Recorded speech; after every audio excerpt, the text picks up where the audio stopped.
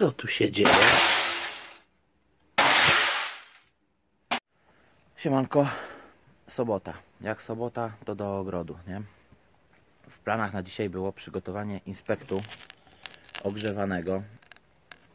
Była opcja taka, aby wykopać tutaj dołek wielkości inspektu na 50 cm głęboki, narzucić do niego narzucić do niego 30 cm świeżego bornika końskiego, ubić to, uklepać, no i następnie zasypać, zasypać e, ziemią do uprawy, postawić inspekt i on by się już grzał. Niestety, niestety obornik, który e, pozyskałem leżał na pryzmie kompostowej już dłuższy okres czasu i nie grzeje tak dobrze jak ten, który, który był świeży. Mm. Zatem zmiana planów. Obornik wykorzystam do nawiezienia grządek na dynie, zwłaszcza tam, gdzie przekupuję świeżą ziemię. E, to wygląda mniej więcej tak, że u mnie ziemia jest bardzo słaba. To jest sam piasek. I taki obornik sprawi, że ta ziemia stanie się dużo lżejsza. Obornik koński ogólnie e, ma dużą zawartość mm, substancji e, organicznych, która sprawia, że ziemia nie jest taka ubita, nie jest taka ciężka. Dodatkowo jego pH w moim przypadku to jest 7,5 do 8 Wolałbym, żeby była niższe, dlatego że sama ziemia jest dosyć mm, zasadowa. No ale powiedzmy, że tak jak już wcześniej wspominałem, będę to próbował zbijać różnymi sposobami w trakcie sezonu też. Co do tego jeszcze chciałem dodać. Może pokażę też jakie nasiona wybraliśmy w tym roku do uprawy. Yy, cały czas szukamy takiej idealnej dyni dla siebie, takiej, która będzie miała dużo beta-karotenu, będzie ładna pomarańczowa, słodka, i będzie nadawała się do przetworów zarówno na słodko, jak i na słono.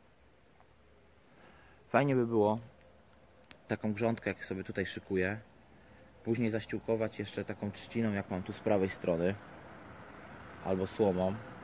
Nie wiem, czy to wypali, nie wiem, czy uda mi się to zdobyć, bo nie ma tak naprawdę za bardzo skąd y, tutaj przywieźć słomy. A już nie chcę kombinować i jeździć 50 km w jedną czy w drugą stronę, żeby przywieźć 4 mm, snopki siana, tak? Na razie biorę się do roboty. Ten obornik musi być przekopany. Nie można go zostawić na wierzchu, gdyż szybko się utlenia i traci swoje e, właściwości. Taki obornik koński ma stosunkowo dużo wody i przede wszystkim mało azotu, przynajmniej względem innych nawozów takich jak kurzy, czy, czy chociażby taki kupny granulowany przy tej samej objętości. O to będzie trzeba tutaj też zadbać. Myślę, że o azot powalczymy za pomocą pokrzyw. Jak tylko pojawią się pokrzywy, przyniosę je tutaj, powciskam w ziemię, zrobię gnojowice z pokrzyw i yy, sprawię, aby tego azotu było tam wystarczająco dużo. Sam azot, na przykład dla dynia Amber, którą zamierzam tutaj posadzić, nie kumuluje w sobie e, azotanów, więc y, nadmiar azotu nie będzie jej y, przeszkadzał ziemi, a przynajmniej będę miał pewność, że prawidłowo będzie sobie rosła.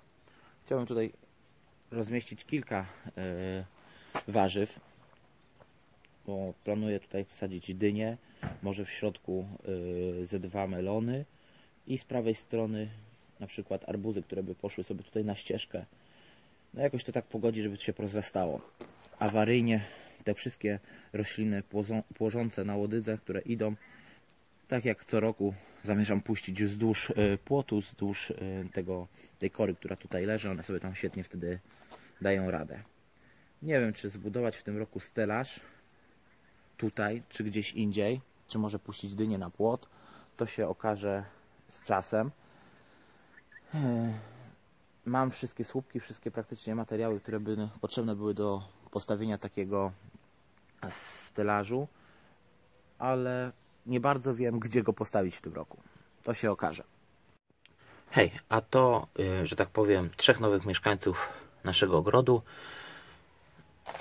Ta dynia będzie po raz pierwszy u nas, w sumie ta też. Dynia zwyczajna, ozdobna, nie sugerujcie się nazwą. Y, jej owoce są normalnie jadalne, bardzo słodkie, dobre do przetwórstwa cukierniczego, gorzenniczego.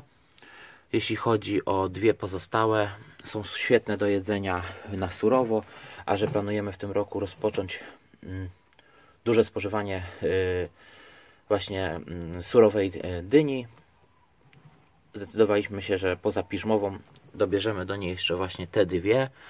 Głównie ze względu na to, że one dobrze owocują, rosną y, do dużych rozmiarów, więc będzie sporo materiału na testy kulinarne. Dobra, życzę miłego dnia, żegnam się, biorę się za widły i zakopanie obornika, a Wam życzę miłej soboty.